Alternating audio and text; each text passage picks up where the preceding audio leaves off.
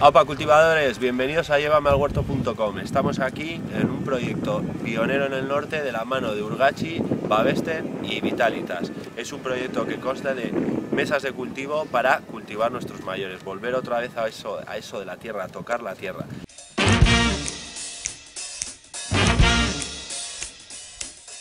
Estamos hoy con Sonia, la psicóloga del Centro de Vitalitas de San José de Astillero, que nos va a contar un poco la experiencia en este centro.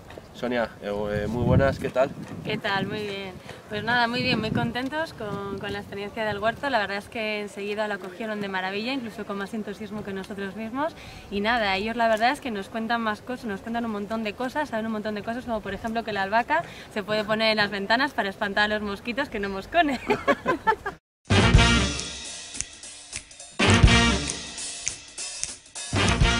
Oye, Sonia, por aquí que tenemos, veo que hay lechuguitas nuevas. Sí, porque bueno, teníamos lechuga de roble, la hemos tenido que quitar porque está, bueno, fantástica, preciosa, entonces nada, nos la, vamos, la hemos cogido para hacer unas pequeñas ensaladitas, ya está ensalada de verano, que viene fantástico, y nada, ya le hemos plantado eh, esta lechuga, bueno, pues para que también vuelva a crecer. Vuelva a ocupar el sitio que ha tenido la a tener ensalada. esto es un ciclo... un no parar. Un no parar. Esto, aquí tenemos las, las, berenjenas, ya veis qué bonitas, cómo están empezando con la flor. Sí, están preciosas, pero Y ya poco a poco se empezarán a abrir y saldrá, cuajará la berenjena. Y también por aquí algún tomate. algún tomate ¿eh? hemos visto por aquí, a ver... Donde estaba antes es que eso es tan chiquitín que le hemos encontrado. Aquí está. Ahí está, precioso. el primer tomate de la residencia San José de Astillero. Aquí lo tenemos.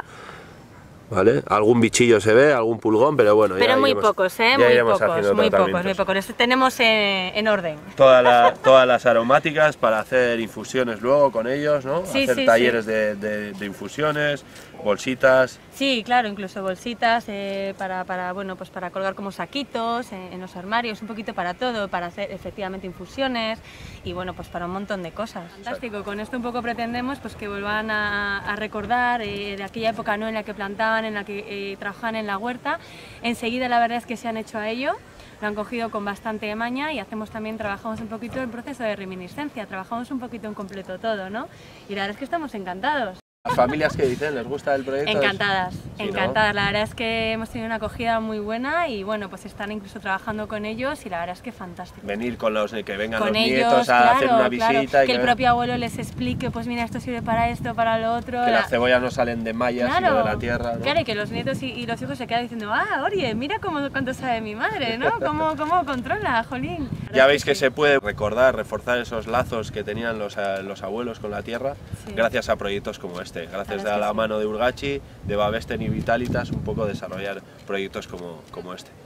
Bueno, eh, Sonia, buena cosecha, como decimos en el programa. Y que Esperemos disfrutarla, ¿no? Y que vaya todo bonito, ¿vale? Venga. Bueno, muchas gracias.